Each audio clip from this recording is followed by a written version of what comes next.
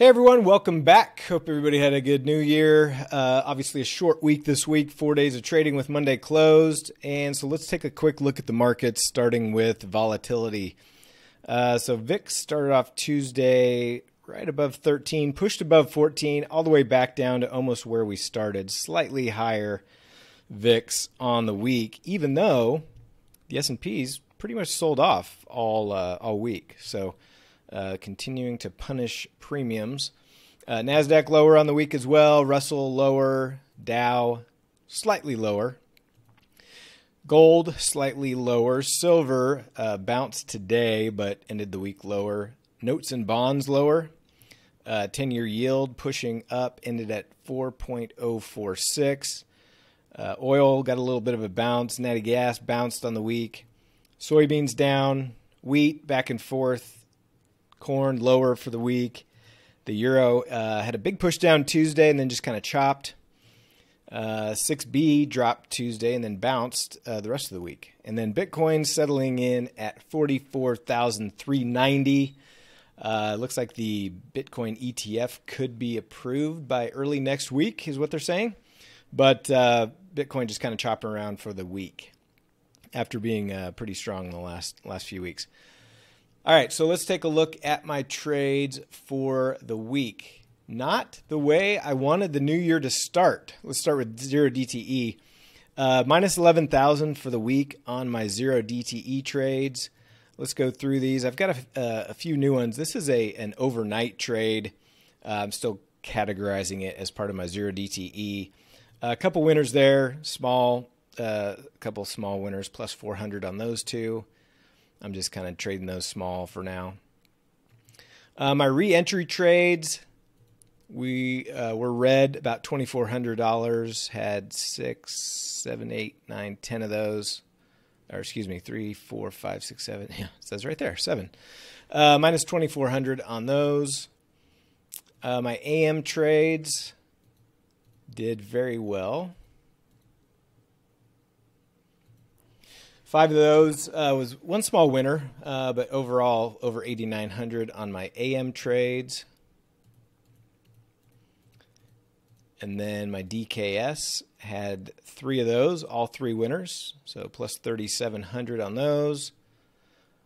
Uh, JSPs, two of those, one loser, one winner, net minus 1,200 on those. And then Power Hour, the biggest loser, Old reliable was not so reliable this week.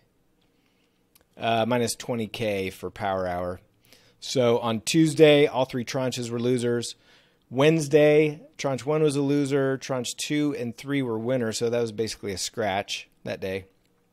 Uh, yesterday, all three tranches were losers. And then today, uh, tranche one was a small scratch loser. Tranche two was a loser. And actually, add another $1,000 to that because I let tranche three expire, but it's going to be about a thousand dollar loss on that one. So about minus 21k for power hour on the week. Not the way I was hoping to start the year, my friends. Not the way. Uh, and then my afternoon PM trades. Two of those, two losers.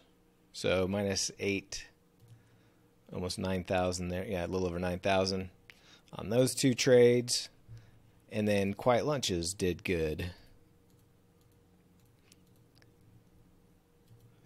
Two of those minus, uh, or excuse me, two of those plus 2,700 on my midday trades. Uh, I don't think I had any Ricks. Yeah, no Ricks. Uh, this zero do uh, zero two DTE calendar. Uh, this is something I'm just kind of testing. So one winner, one loser, scratch between the two. And then lastly, my one day iron condors. This is something new that I just started trading uh, at the first of the year. So these did well, coming in hot to the new year. Three for three for plus 6,100 on those uh, 1 DTE iron condors. So that's it for zero DTE. Time flies. Took a took a hit on one for minus 3250. Closed out a couple other winners, so net minus 1300 on those for the week. And then the only uh, dynamic calendar I took was a 2 3.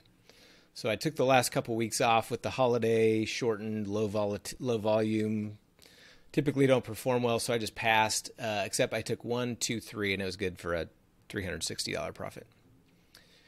But I'm back in full force, loaded up on some of those today for next week, so we'll see how those turn out.